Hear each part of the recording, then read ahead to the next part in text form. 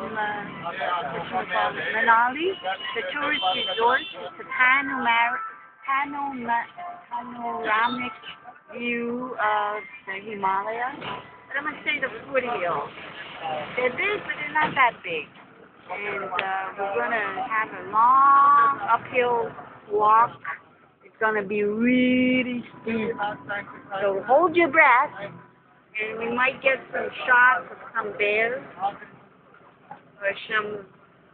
mountain lion, a monkey, monkey, monkey, or